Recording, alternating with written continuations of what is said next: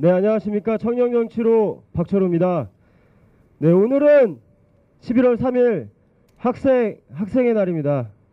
86년 전 오늘 우리 선배들은 일제 제국주의자, 일본 제국주의자들과 싸워서 독립을 위해 목숨 바쳐 싸웠던 날입니다. 86년이 지난 오늘 어떻습니까? 일본군 자위대가 다시 이 땅에 들어올 수 있게 허용한다고 합니다. 그리고 친일 독재를 미화하는 교과서가 다시 이 땅에 우리 청소년들에게 알려질 위기에 처해 있습니다. 정말 안타깝게 그지없습니다.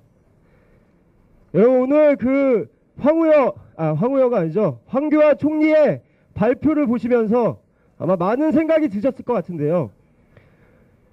이 발표에 저희는 명명백백히 박근혜 정권이 독재자임을 박근혜 정권이 독재 정권임을 밝혀줬다고 저는 생각합니다.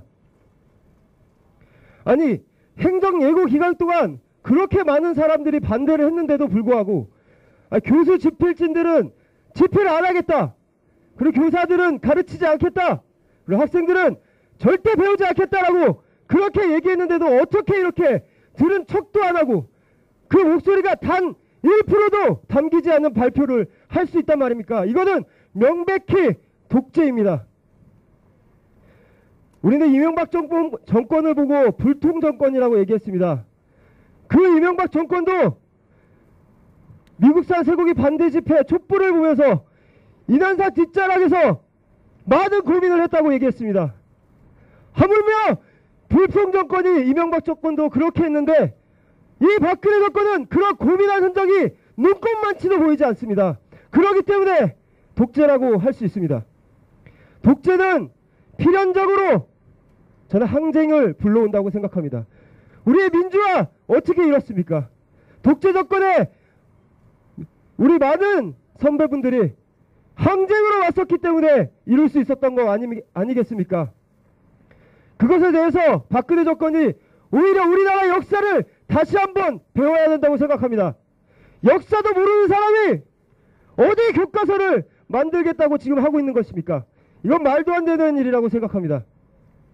그리고 두 번째는 제가 오늘 발표를 보면서 너무너무 황당했던 게 맨 교과서 무슨 집필진들이 나와서 해명을 했는데도 불구하고 좌편향이다.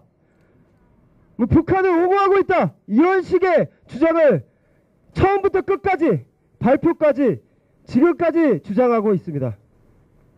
어떻게 이것을 주장할 수 있단 말입니까? 정확하게 색깔을 입혀서 우리 종북 색깔론을 이 싸움에 입히려고 한다고 생각했습니다. 그러면서 한 기사를 또 봤는데요. 이 국정교과서 때문에 지금 박근혜 정권의 지지율이 하락하고 있다고 합니다. 하지만 보수 측은 지금 굉장히 집결하고 있다고 합니다. 아, 이거구나. 아, 이것 때문에 지금 국정교과서 싸움을 박근혜가 붙인 거구나. 바로 내년 총선, 내년 총선을 노리고 박근혜 정권은 국정교과서를 추진하는 거 아닌가 싶었습니다. 그러면서 초지일관 교과서가 좌편향이 됐다더니 종북이라니 이런 얘기들을 주장하고 있습니다. 그리고